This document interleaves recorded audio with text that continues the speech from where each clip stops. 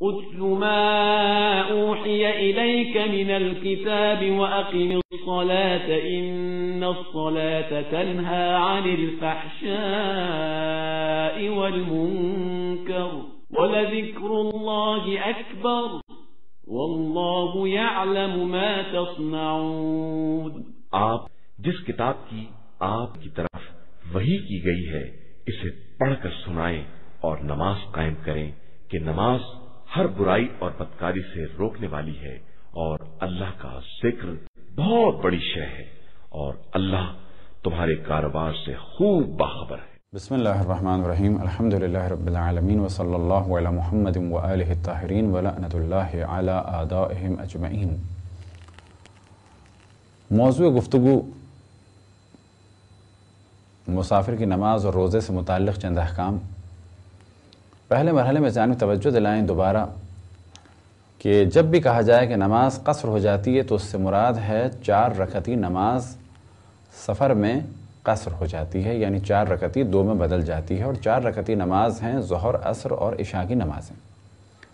لیکن فجر کی نماز قصر نہیں ہوتی یعنی دو رکعت ہی رہتی ہے، اسی طرح سے مغرب کی نماز بھی قصر نہیں ہوتی، وہ تین رکعت ہی رہتی ہے۔ اور جب بھی توز المسائل میں یا فقہ کسی کتاب میں آپ دیکھیں کہ مسافر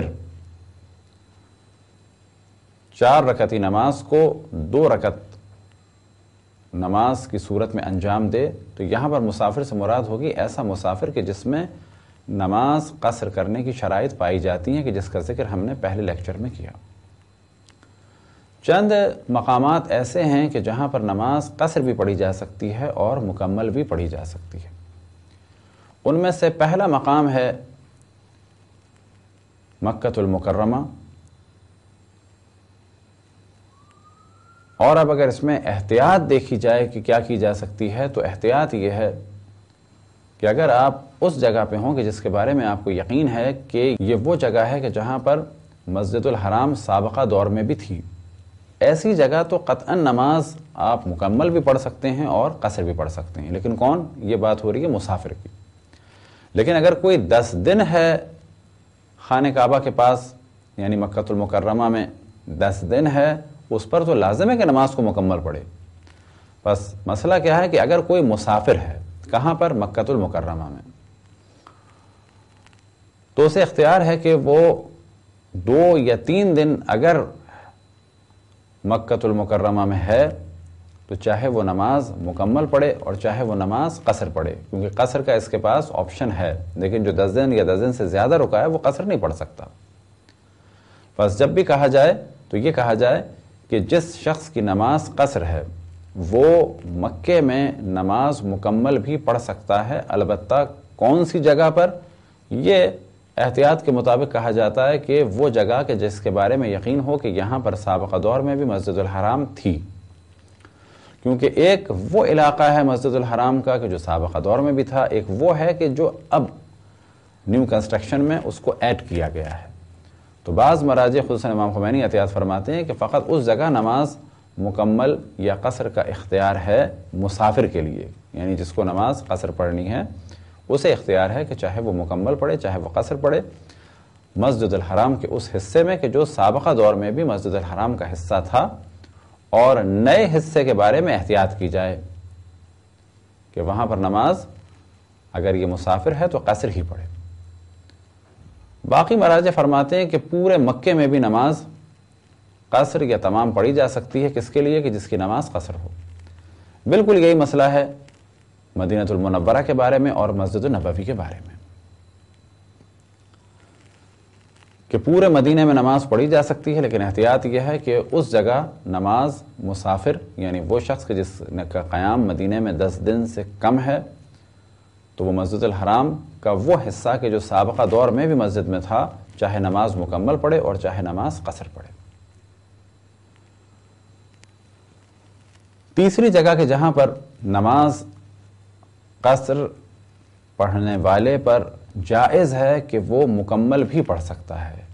اور پھر بتاتے چلیں کہ اگر کوئی دس دن سے زیادہ رکا ہے تو اس کو نماز مکمل پڑھنی ہے۔ یہ گفتگو ہے اس شخص کے لیے کہ جو دس دن سے کم رکا ہے تو وہ مکمل بھی پڑھ سکتا ہے۔ تو تیسری جگہ ہے مسجد کوفہ۔ کہ مسجد کوفہ میں نماز پڑھنے کا بہت زیادہ ثواب ہے۔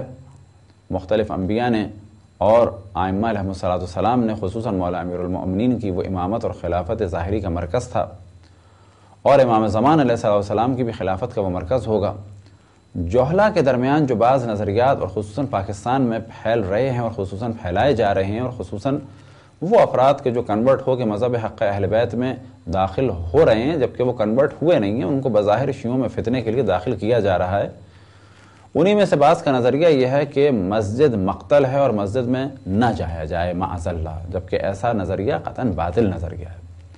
تو اس سے ہم یہ سوال کریں گے کہ اگر مسجد مقتل ہے معذ اللہ، تو مسجد کوفہ وہ جگہ ہے کہ جہاں پہ مولا امیر المومنین کو ضربت لگی، لیکن ہم یہ دیکھتے ہیں کہ وہاں پر بعد میں امام حسن نے نماز پڑھی، امام حسین نے نماز پڑھی، باقی آئمہ نے نماز پڑھی، اور جب امام زمان علیہ السلام السلام کی حکومت ہوگی تو ان کی خلافت اور ان کی حکومت کا مرکز یہی مسجد کوفہ ہوگی۔ بس ان جوہلا کو جواب یہ دینا چاہیے کہ اگر تم مسجد میں نماز نہیں پڑھتے ہو، دلیل یہ ہے کہ تم مولا امیر المومنین سے محبت کرتے ہو اور کیونکہ وہاں پر ان کو ضربت لگی، تم اس وجہ سے نماز نہیں پڑھتے، تو کہا جائے گا کیا تمہیں زیادہ محبت ہے مولا امیر المومنین سے یا امام حسن؟ امام حسین کو زیادہ محبت تھی کہ انہوں نے بعد میں وہیں پر نماز پڑھی بھی اور پڑھائی بھی اور باقی آئمہ نے بھی نماز پڑھی اور امام زمان علیہ صلی السلام کی وہ امامت اور خلافت کا مرکز ہوگی یعنی مسجد کوفہ۔ تو یہ تو ایک مختصر سی گفتگو تھی ان جوہلا کے جواب کے بارے میں۔ اس جانب توجہ رہے کہ بعض نظریات جو پاکستان میں پھیلائے جا رہے ہیں، وہ بالکل غلط نظریات۔ مثال کے طور پہ کہ مسجد میں نہ جایا جائے، یہ مقتل ہے۔ یہ وہ نظریے ہیں جو بعض منافقوں نے اور بعض ملنگ ٹائپ لوگوں نے پھیلائے۔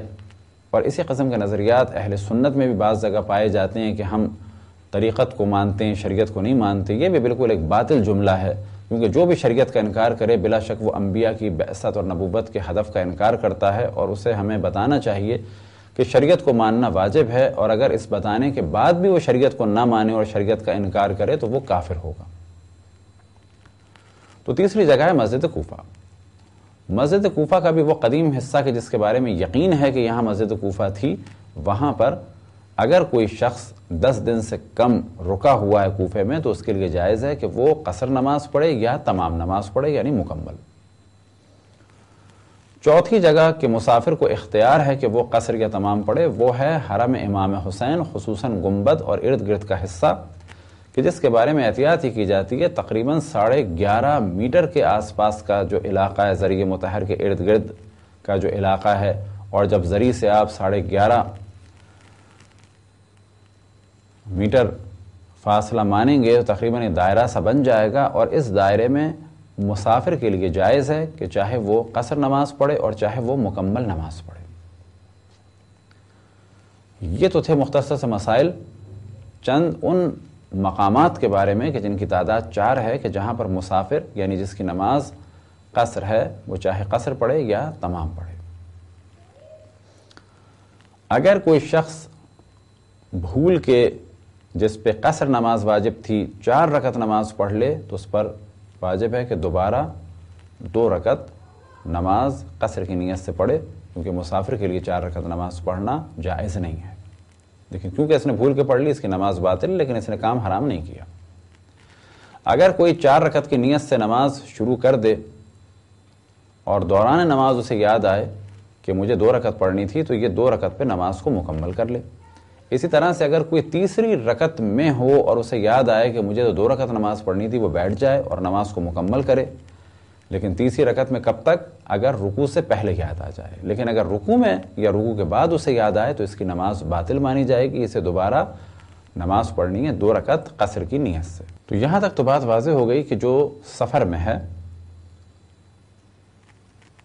اسے قصر نماز پڑھنی ہے۔ اب اگر کسی کی نماز سفر میں قضا ہو جائے تو اس پر لازم ہے کہ چاہے سفر میں ہو تو بھی نماز جو قضا کے طور پہ انجام دے وہ دو رکت ہی انجام دے۔ اور اگر یہ اپنے وطن میں واپس پہنچ چکا ہے، فرض کریں کسی کی نماز قضا ہو گئی تھی سفر میں، اب یہ اپنے گھر واپس پہنچا ہے اور یہ نماز کو، جو نماز قضا ہوئی تھی، اسے پڑھنا چاہتا ہے تو یہ کیا کرے؟ تو کہا جائے گا، کیونکہ اس پر سفر میں دو رکت نماز واجب تھی، تو اسے اسی دو رکت نماز کو قضا کے طور پہ انجام دینا ہے۔ ایسا نہیں ہے کہ کیونکہ گھر میں آ چکا ہے تو یہ چار رکت پڑے گا۔ بس اسی مسئلے کو اس طرح سے بھی بیان کیا جا سکتا ہے کہ جس کی نماز قضا ہوئی ہے جبکہ اس پر واجب تھی چار رکت نماز، تو اس کو چار رکت قضا کرنی ہے۔ اور جس پر چار رکتی نماز دو ہو گئی تھی یعنی وہ سفر میں تھا اور اس کی نماز قضا ہو گئی، تو اسے دو رکت نماز ہی کو قضا کی صورت میں انجام دینا ہے۔ مسافر کے لیے مستحب ہے کہ نماز کے بعد تیس دفعہ۔ سبحان اللہ والحمد للہ ولا الہ الا اللہ واللہ اکبر کا ورد کرے یعنی تعقیبات کے طور پہ انجام دے، خصوصاً نماز ظہر، عصر اور مغرب کے بعد۔ اور بہتر ہے کہ خصوصاً نماز ظہر، عصر اور مغرب کے بعد تیس دفعہ کے بجائے ساٹھ دفعہ اس ذکر کو زبان پہ جاری کرے یعنی سبحان اللہ والحمد للہ ولا الہ الا اللہ واللہ اکبر۔ خداون تبارک و تعالیٰ سے دعا ہے کہ بحق محمد وال محمد ہمیں اپنی اپنے رسول، اپنی حجتوں، خصوصاً امام زمان علیہ صلاۃ السلام کی معرفت اور اطاعت کی توفیق عطا فرمائے۔ وصلی اللہ علی محمد و الطاہرین۔